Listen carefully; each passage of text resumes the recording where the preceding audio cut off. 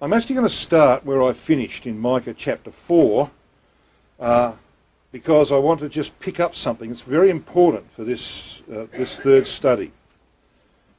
The counsellor, we considered in our previous study, will need to enforce his counsel, and the reason for that is given to us in Ecclesiastes chapter 8 and verse 11, which is on the screen. We know the passage well. Because sentence against an evil work is not executed speedily, therefore the heart of the sons of men is fully set in them to do evil. It will not be that way in the kingdom of God.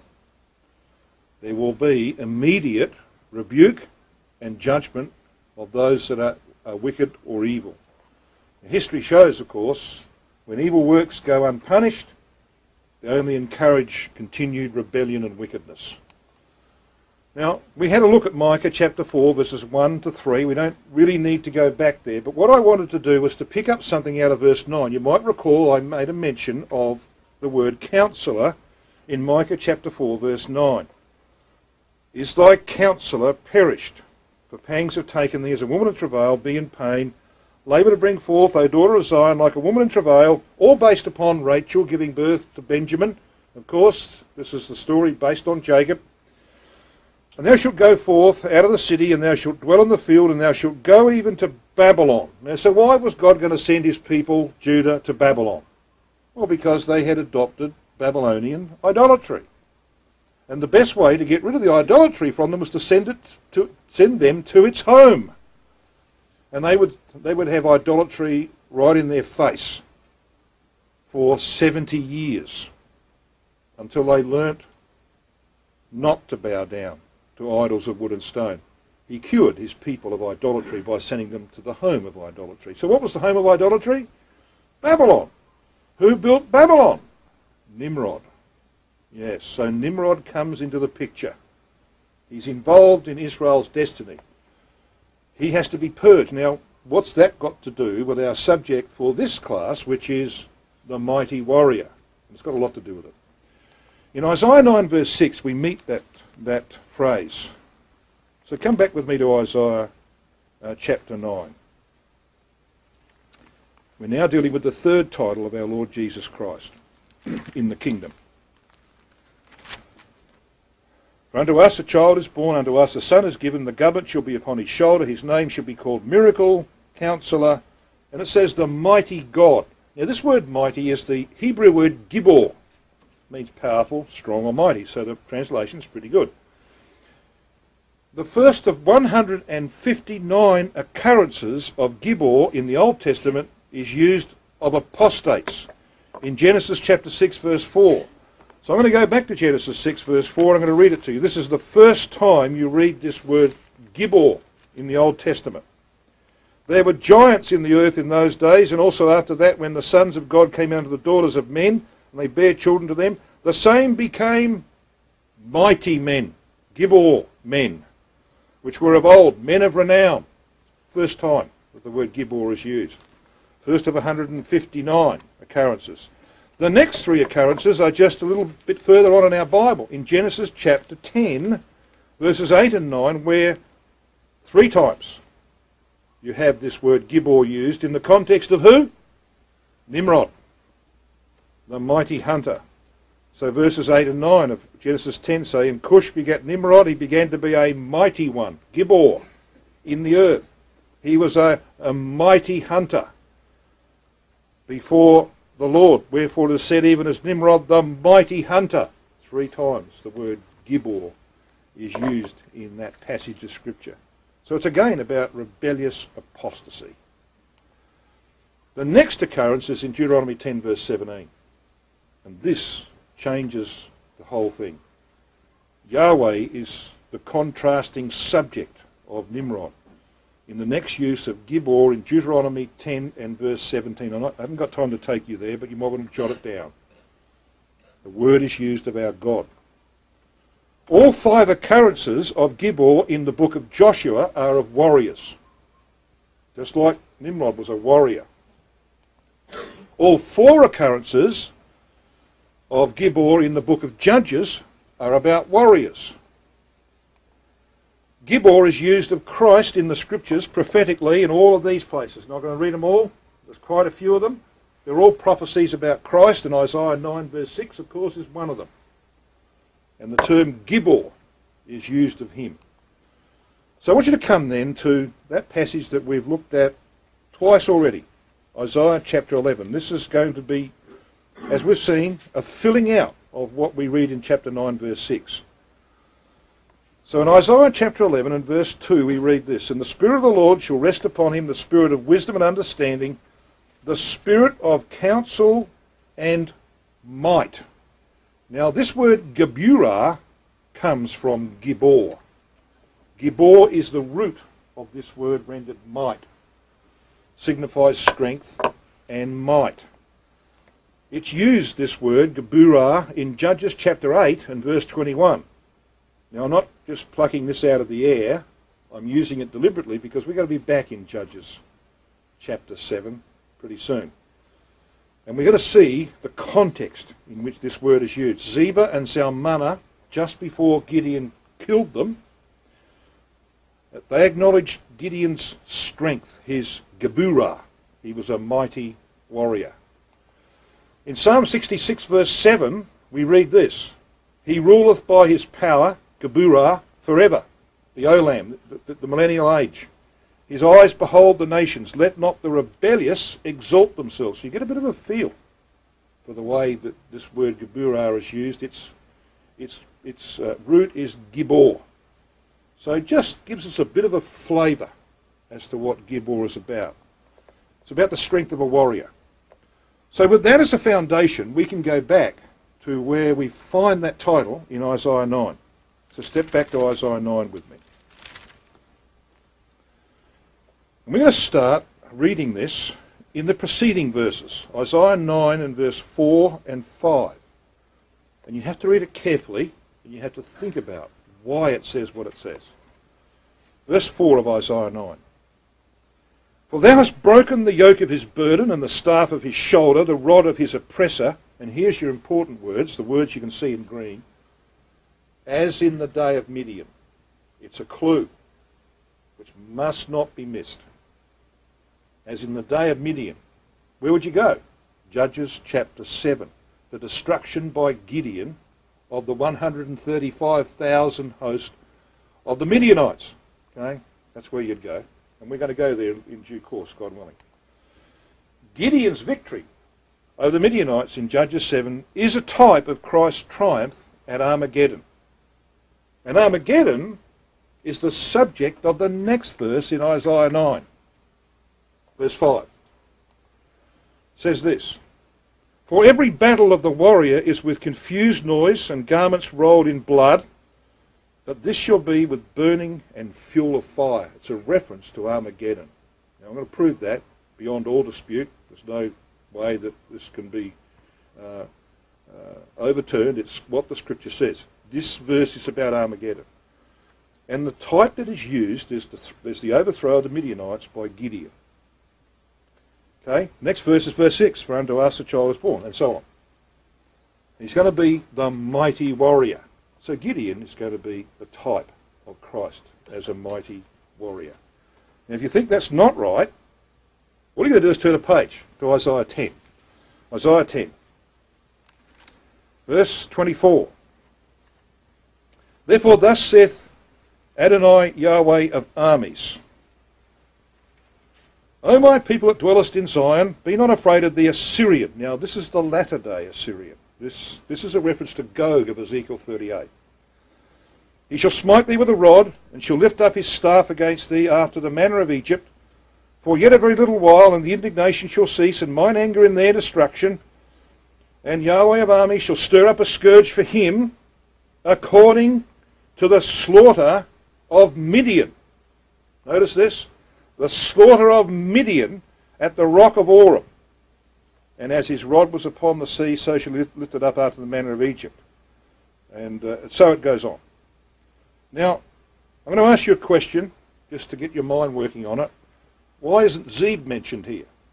Because the two kings that were overthrown in the valley of Jezreel by Gideon and his 300 faithful men were Oreb and Zeb. Well, the answer is pretty simple. You see, Oreb is the, is the one who is the type of Gog, whereas Zeb, which means a wolf, is a type of Gog's compatriot who doesn't happen to be on the battle the field of battle that time, at that time, the papacy. The papacy will be in league with Gog in the invasion of the land, but they're not on the field of battle at that time. Okay? So Zeb's not mentioned.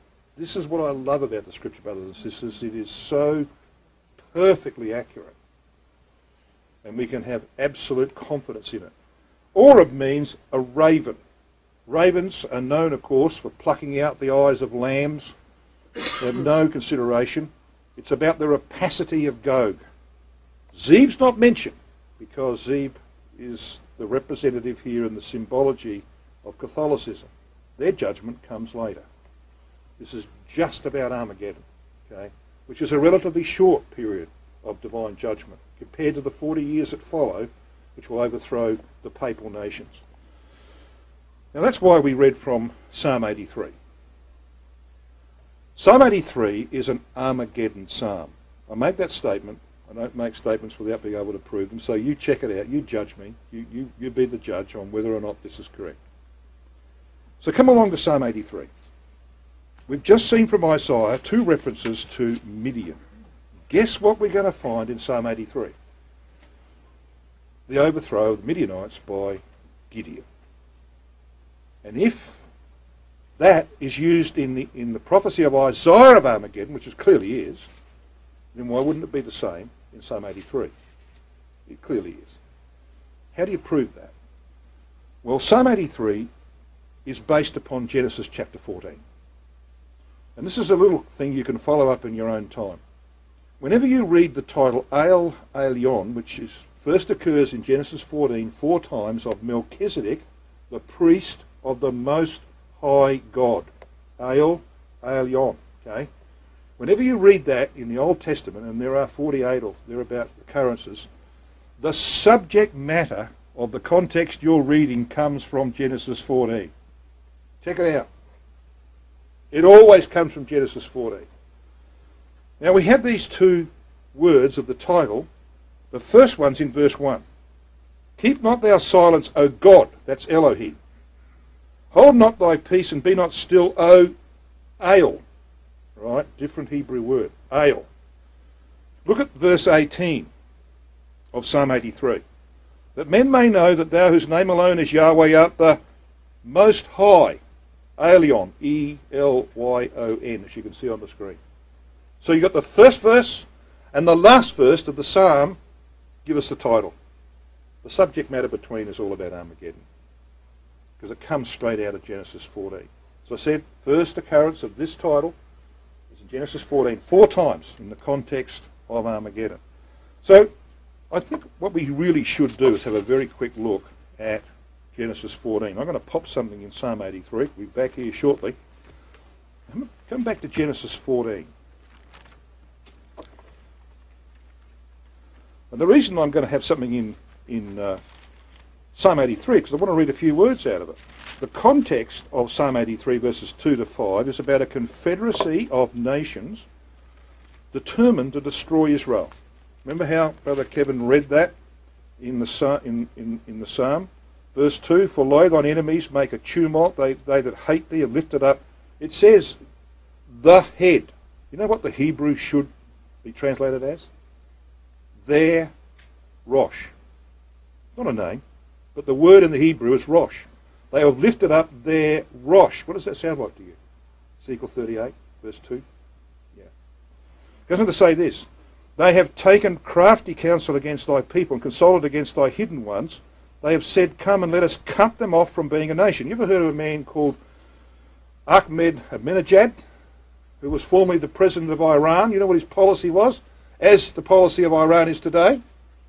We're going to wipe Israel off the map. Let us cut them off from being a nation. Yeah. Verse 4 goes on to say that the name of Israel may be no more in remembrance. For they have consulted together with one consent, they are confederate against thee. Well, that's exactly the story of Genesis chapter 14. What have we got? Well, you know the story. We have a northern confederacy consisting of four kings. And when you look at those four kings, they actually line up with the four parts of Nebuchadnezzar's image. Did you know that? What's the head of Nebuchadnezzar's image? Babylon. Read it. Read Genesis 14, verse 1. Now, if I didn't like reading names, I could change this verse a little bit. I could say, for example, it came to pass in the days of these kings. Does it remind you anything? Daniel 2, verse 44. It shall come to pass in the days of these kings that the God of heaven shall set up a kingdom which shall never be destroyed. Yeah, you know the verse. But look at the names. Came to pass in the days of Amraphel, king of Shinar. Amraphel means a powerful people. Shinar is Babylon. That's where the Tower of Babylon, the Tower of Babel was built. Became known as Babylon. And he doesn't get involved. Amraphel doesn't come down upon the land of Israel, but he's the thinking power behind it, just like the papacy were the thinking power behind the invasion of the land of Israel in the latter days. Let's read on. Arioch, king of Ellasar. You know where that is? That's where we might call Iraq and Iran is today. Ellasar. Okay. Well, that's the second part of the image, isn't it? That's the Persia part, the Medo-Persian Empire. Who comes next? Chedorlaomer, king of Elam, which is also a little bit to the north of Babylon. Now, Chedorlaomer has a very interesting name, which you're going to see in a minute. When you compare what we've got here in Genesis 14 with Psalm 83, it's probably obvious that Psalm 83 is based on Genesis 14. In the same way that we read about Gideon's overthrow of the Midianites in Isaiah 9 verse 4 or 5, 4 was it, and Isaiah chapter 10, that's what you've got in Psalm 83. Let me read it to you again. Verse 9 of Psalm 83. Do unto them as unto the Midianites, and to Sisera as to Jabin at the brook of Kishon, which perished at Endor, etc. Verse 11 Make their nobles like Oreb and like Zeb, yea, all their princes as Zebah and Zalmunna. These are the four kings or four princes of Midian. So it's probably obvious, isn't it? That we have here a reference to Armageddon. And the ten nations who are listed in Psalm 83 represent all nations. Ten stands for all who come against Israel. The focus is upon peoples and nations and not upon territories in this case. So, Psalm 83, brothers and sisters, is based upon Genesis chapter 14. So what happens in Genesis 14? You've got this four-part confederacy, like the four parts of Nebuchadnezzar's image. They come down and they defeat a southern confederacy of nations in the land of Israel. Interesting, isn't it? They take away Abraham's natural brethren into captivity. What's Gog going to do? Zechariah 14, take captives out of the land. Joel 3, okay. Abraham puts together an army in Genesis 14 consisting of homeborn Hebrews and converted Gentiles. And they go out and defeat this Chedorlaomer. You know what his name means? A handful of sheaves. Yeah. He's destroyed in a valley in a place that wasn't known by that name at that time. Called Dan. He wasn't called Dan until Judges chapter 18. Okay? But it's called Dan Genesis 14. Why? Because the Spirit wants us to know that this is about Armageddon. A heap of sheaves in a valley for judgment. Armageddon. Now you want proof that Genesis 14 is actually about Armageddon? Here it is. This is what I love about Scripture. It gives you the, the imprint of the Spirit. The first place that you read the word Hebrew in your Bible is in Genesis 14, verse 13, where it says, Abram, the Hebrew, okay, puts together his army. Where's the last place you read the word Hebrew in your Bible? Revelation 16, verse 16 he gathered them into a place called in the Hebrew tongue Armageddon. You can't miss that, can you? It's so obviously type of Armageddon. So with that background, it's quite brief. If you wanted to follow up on that, we, we have a, a set of notes that we can make available with all the details of Genesis 14. But come back to Psalm 83 with me.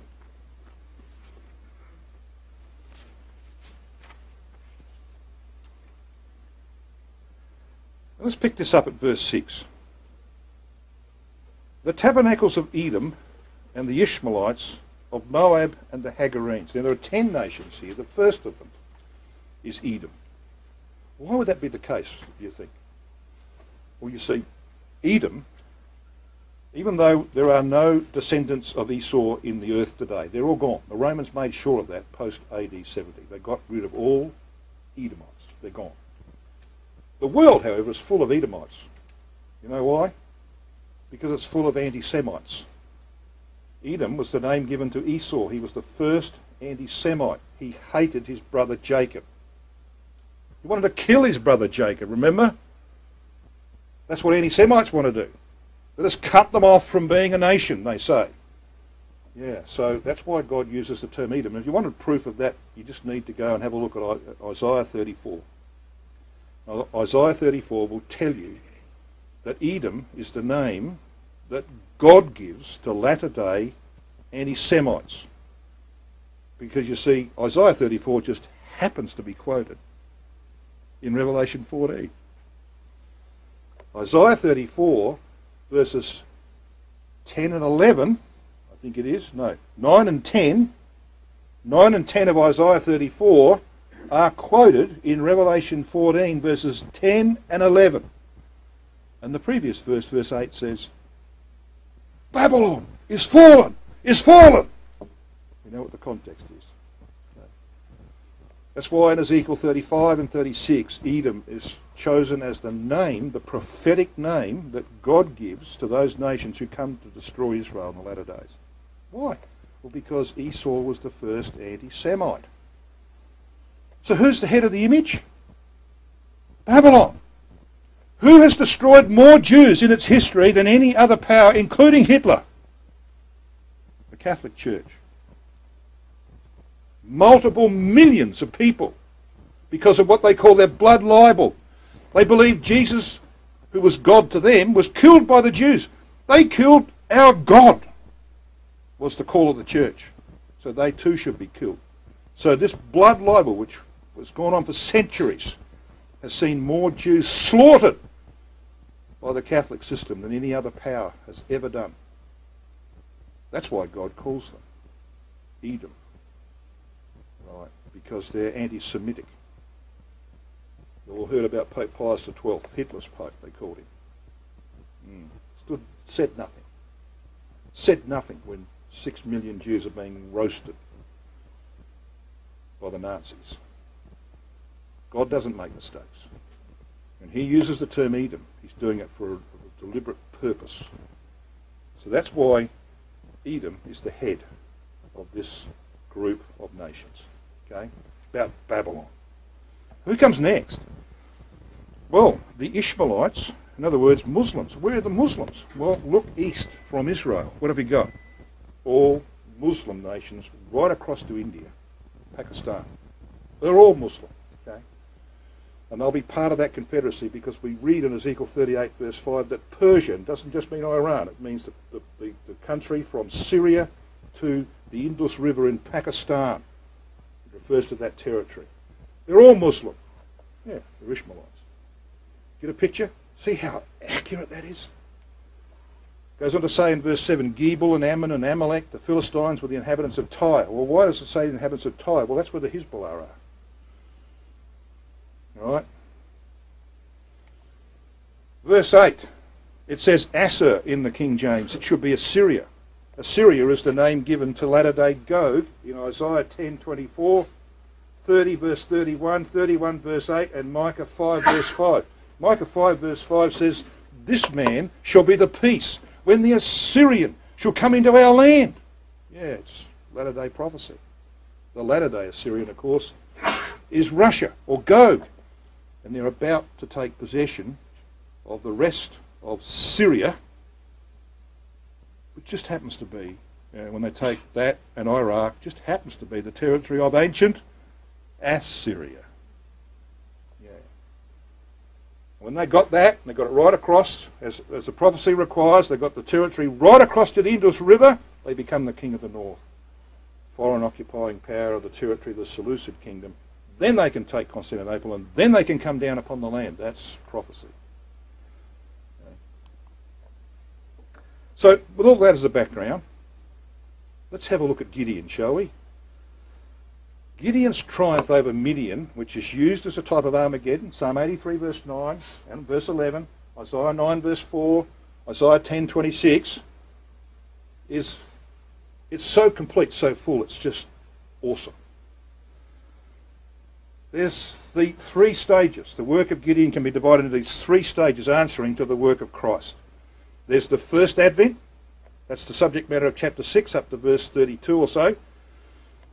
It's about the sacrifice of Christ and the confirmation of the covenant made unto the fathers. It's just unbelievable what's there, brothers and sisters.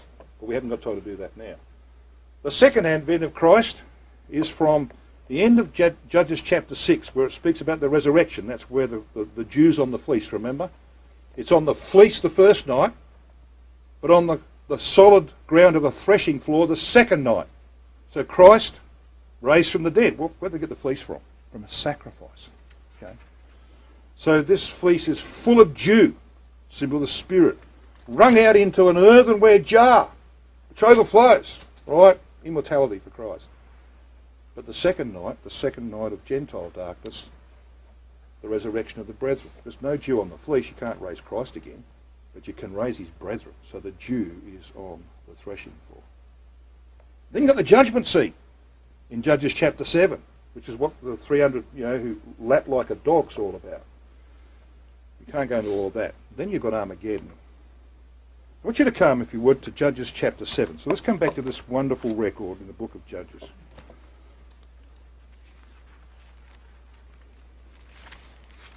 I'm going to pick this up at verse 12.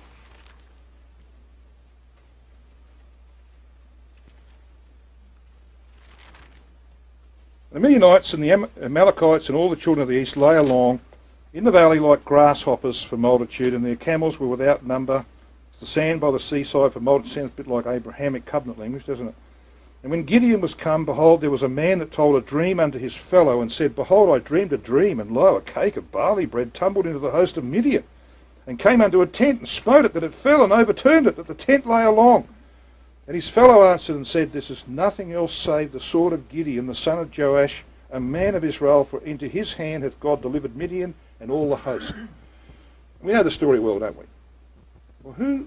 What's this thing about a cake of barley bread here? Running into what's called the tent, which is, of course, the tent of the kings of the, Mid- of the Midianites. Well, Gideon and his servant Phurah are listening to all of this. And they go back and they round up their 300 men and away they go. Well, this cake of barley bread is very important because it's a type of Christ. Barley ripened before wheat, we know that, was used in the Passover. It was the wave loaf of the Passover. Okay? It was half the value of wheat, we find in the scripture, 2 Kings 7.1.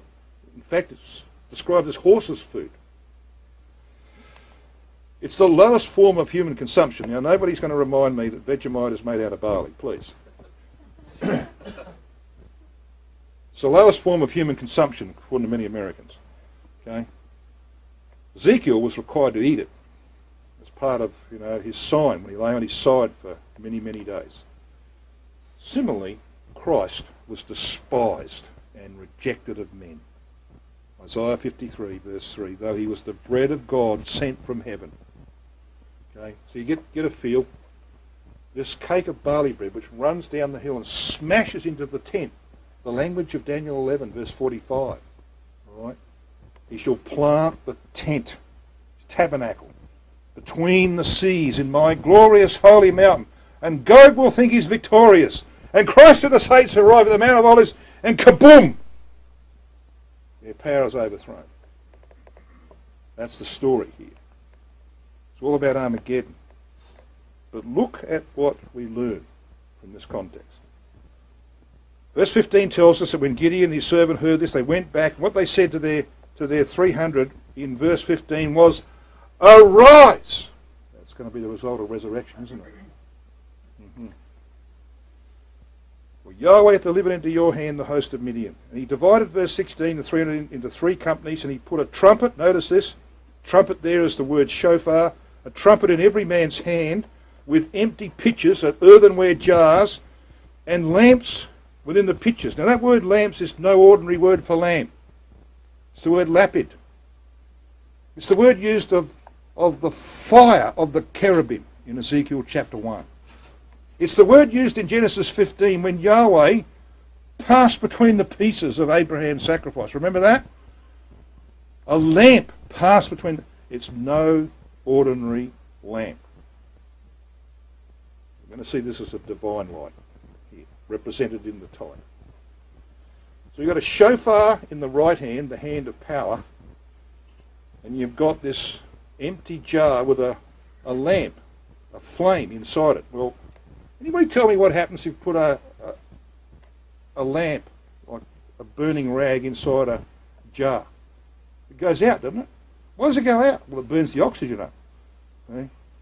So think about that when we go through this. I want you to notice something very important here.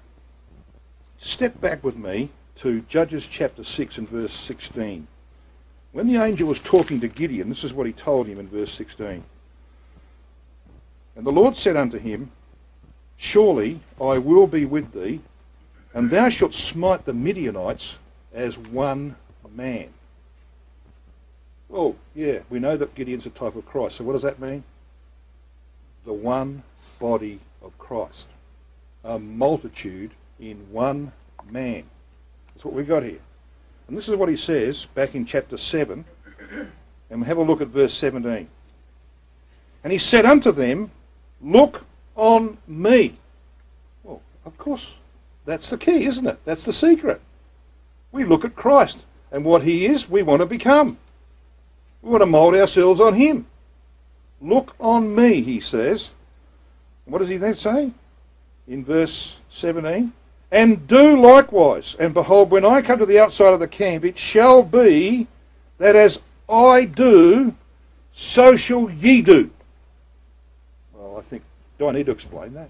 I don't think I need to explain that. It's powerfully obvious, isn't it, what that means? So what about this shofar trumpet? It actually occurs, this word, it's context eight times.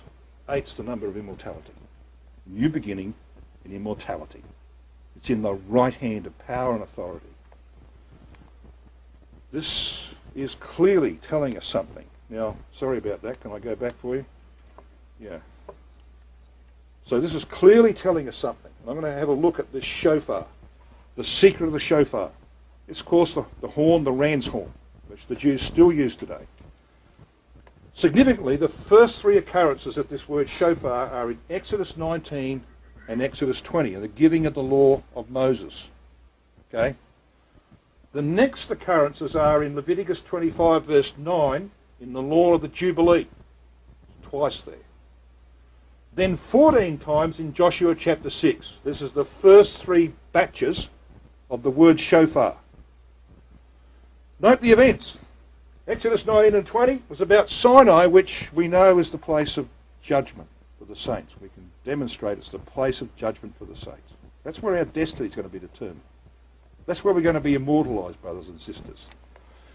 The next occurrence is 20, Leviticus 25, verse 9, about the Jubilee, when every man returns to his family and every man to his inheritance. So when the dead are raised and those that go to the right are changed, what's going to happen? They're going to turn to return to their family. What's their family? Their Abrahamic family. And to their inheritance. What's their inheritance? The promise of Abraham. Given the land, portion of the land. Yeah. What's the next occurrence, or next batch? Joshua chapter 6, and in the wonderful type of the book of Joshua. Joshua 6 is the Armageddon chapter. All right? It's the Armageddon chapter. Great earthquake undermines Jericho. So there's your pattern, you see. It's the exact pattern, exact order of events in Judges chapter 7. You've got the resurrection, the judgment seat, you've got every man returning to his family. You've got the 300 faithful represent the multitude of the saints. And the next thing is you've got the type of Armageddon, the destruction of the Midianites. So let's go back to our picture here. So we've got this earthenware picture over here in the left hand. Now the left hand is the hand of mortal weakness. Sorry for those who use your left hand. But it is in the Bible the hand of mortal weakness. What have they got in this hand of mortal weakness? An earthenware jar. Well, we know what an earthenware jar means. 2 Corinthians 4 verse 7.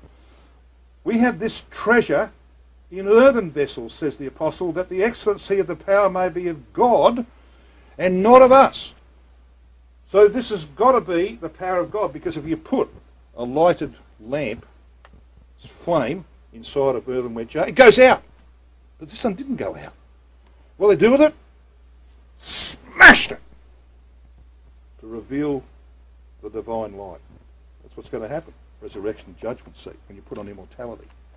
That's going to allow you to go forth as part of this great army to destroy the Gogian Confederacy when it comes down upon the land. What a marvellous type this is, eh? Yes, marvellous. And when you get down to the end of Judges 7, what do you read? You read in verse 25, they took the two princes of the Midianites, Oreb, the raven, mentioned in Isaiah 10, remember, because it's a reference to Gog, and Zeb, they slew Oreb upon the rock Oreb, and significantly, they slew Zeb upon the winepress. Yeah, it's the second phase. It's the treading out of the winepress of the wrath of God.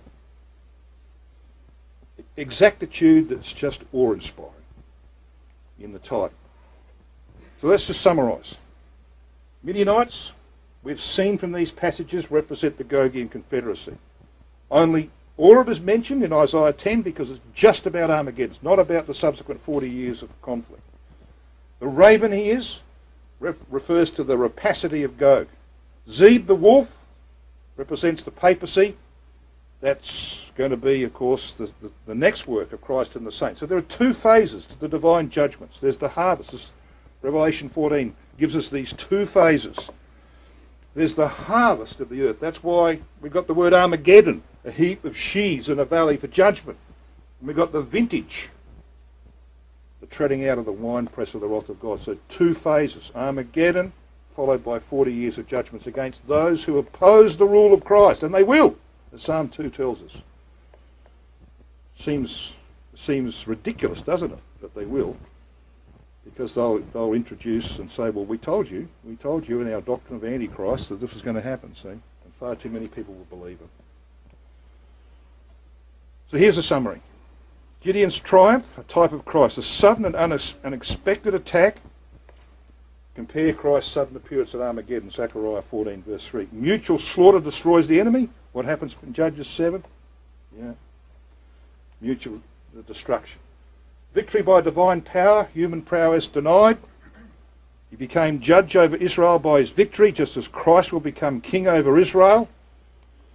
And the faithful 300 participated in the victory. The brethren of Christ will share his triumph, brothers and sisters. Now, very quickly, I'm just going to take you to Psalm 149. So come along to Psalm 149.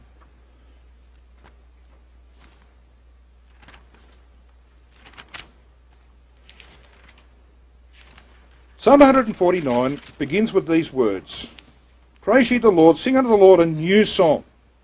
When you read about a new song, there are nine occurrences of this in Scripture.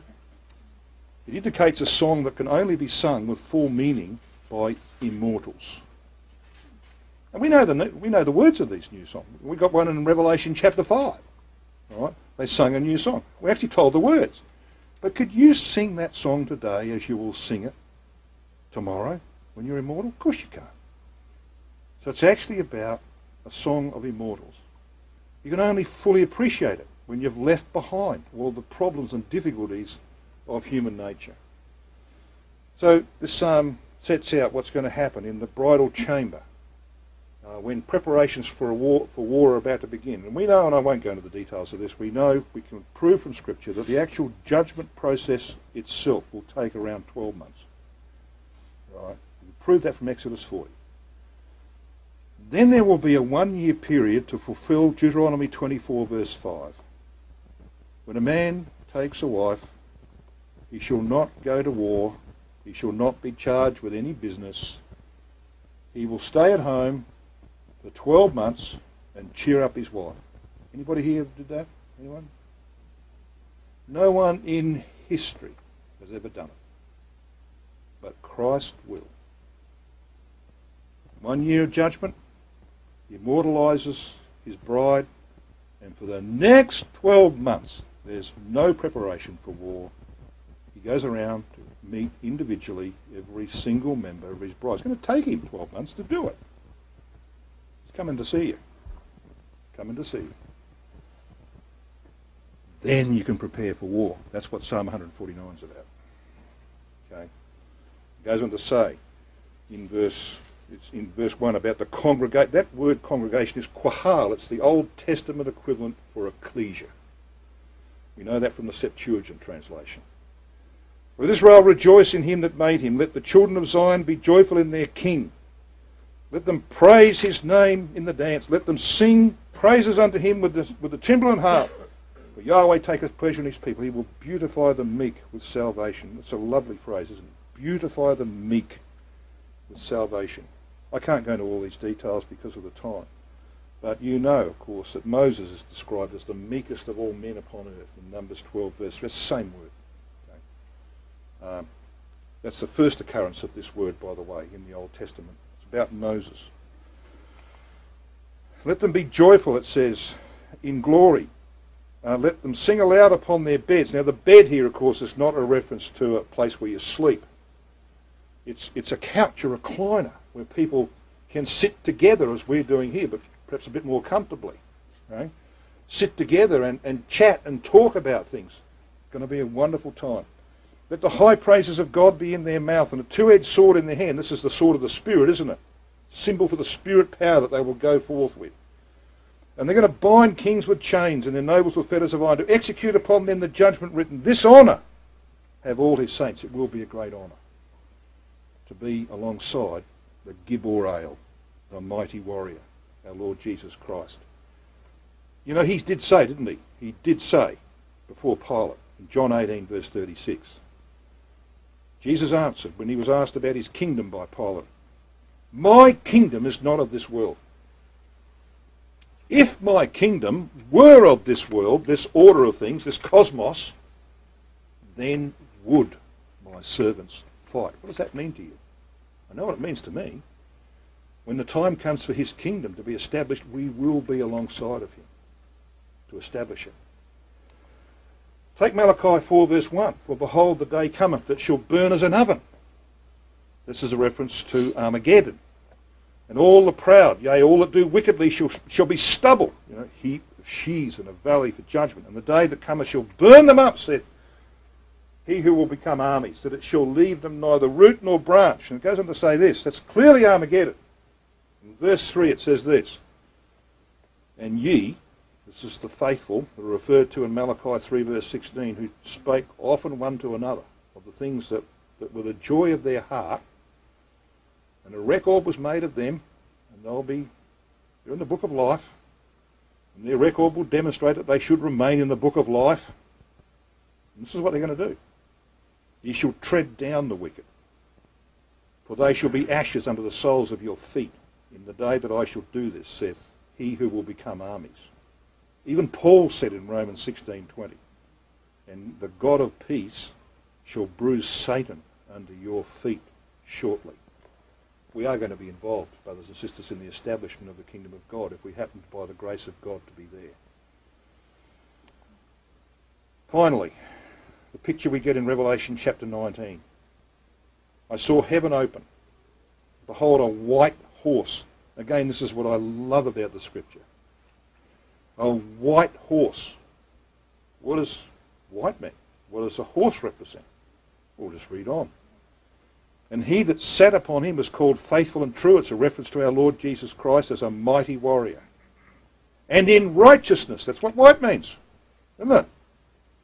It's the colour of righteousness. In righteousness he doth judge and make war. That's what the horse means. But this horse just happens to be the horse of Israel. And the proof of that is Isaiah 63 verse 13. I want you to just have a quick look at that. You've got a minute. A quick look at Isaiah 63 verse 13. And we can read verse 12 to get the context.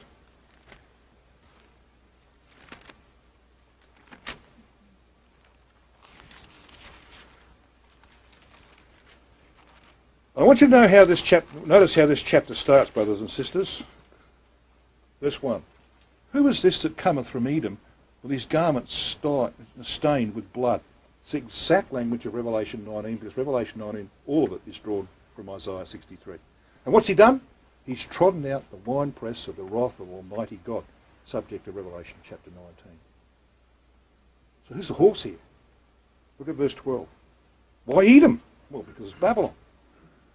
Verse 12, that led them, this is Israel, by the right hand of Moses with his glorious arm, dividing the water before them to make himself an everlasting name.